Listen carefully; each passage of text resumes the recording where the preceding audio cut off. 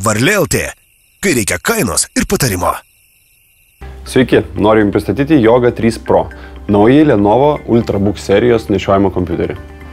Yoga Pro serijos kompiuteriai yra vieni universaliausių prietaisų rinkoje. Dėka 360 laipsnių atlenkiamo ekrano jie gali būti naudojami kaip nešiojami kompiuteriai ir kaip planšetės arba kaip išmanus televizoriai. 13,3 colio įstrižainė ir Quad HD rezoliucija suteikia įspūdingą vizualiką, o IPS technologija leidžia matyti vaizdą iš įvairių pozicijų. Yoga Pro turinys taip pat lankstus ir pristaikantis. Vartotojo sąsaja Yoga Harmony atrenka programas pagal ekrano poziciją.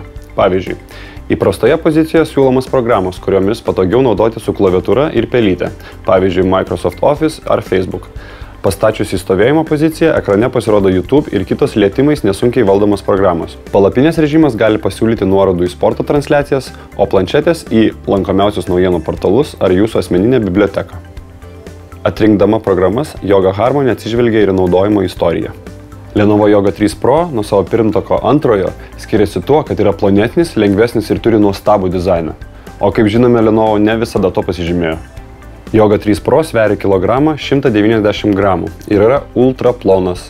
Atrodo, vadinti šį parametrą storiu jau net nepadaru, nes šis kompiuteris šiuo metu yra ploniausias rinkoje.